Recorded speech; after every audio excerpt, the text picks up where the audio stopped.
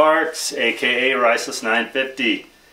We're uh, here at the ranch without rice, in the garage without rice. We're going to work on our big KTM twins and get them ready for the Death Valley run next weekend. We've got uh, water pumps to do and just general changing of oil, cleaning of air cleaners, stuff like that. And uh, the biggie is new water pump upgrade to the 09 spec water pump. We got these kits that are uh, ready to go from ktmtwins.com. Redesigned impeller. And it's supposed to pump more water faster. Should be good. Should be pretty easy. Swap it in, swap it out. So you guys can watch and maybe learn something or don't watch.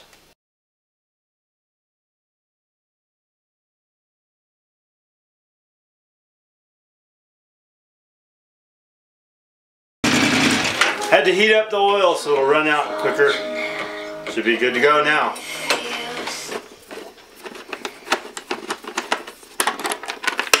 Sounds good. That's why I had my garage floor magnetized so I don't lose any bolts. They always end up on the floor. You can do pretty much all this maintenance with the toolkit that comes from KTM with the bike. Got a little uh, little bit of the desert I brought home with me on this side. It's like a rat's nest or something. I guess it gets faster every time you do this. I remember, I think my first oil change when I got this bike took two hours and 45 minutes. Now, it's a lot less. I haven't timed it, but it's a lot less. I'm going to take both tanks off since I'm doing an oil change. Need to get on this side. Since I'm doing the water pump, I need to get on the right side. This uh, crash bar is a lot easier to get off than the other one. It's due to a few unscheduled get-offs, which uh, resulted in bending the bar to a certain degree, which makes things a little more difficult. But as you see, this one's way easier. I take a lot of grief for not running crash bars, but from other riders. But uh, I don't. That's part of the reason I don't like to run them is because it's a deterrent to maintenance. Because I, I look at the bike and say, do I want to work on this or not? And then I have to take the crash bars off. So that's just one less thing to take off. Easier access for uh, getting at the, the bike to work on it. Uh, I also like not running them because it makes the bike wider. If you chip or hit a rock with uh, your crash bar, it could make you crash, or otherwise you might just go by it without crashing. I like crash bars. Crash bars I, suck. I crash a lot.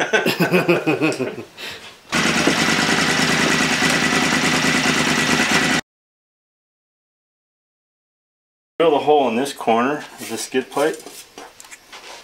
So the oil goes into the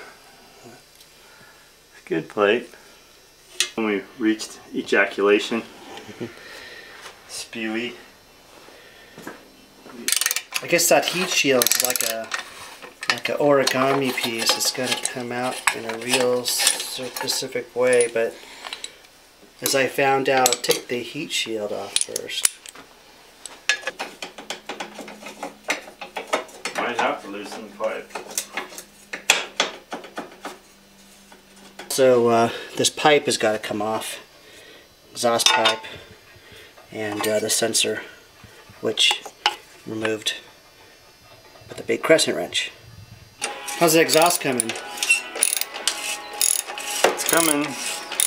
This graphite uh, gaskets here at this joint are the only thing I'm worried about. They, I've had this off and on with the same gasket a few times and they're looking pretty shabby. So, after much uh, coaxing, this thing had to come off, which was kind of a beach.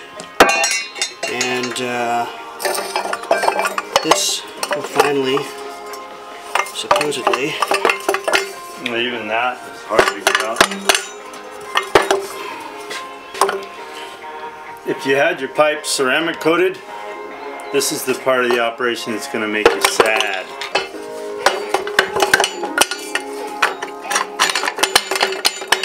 Can't be done. It's a virtual impossibility. Hand me that jar of Vaseline over there. See this?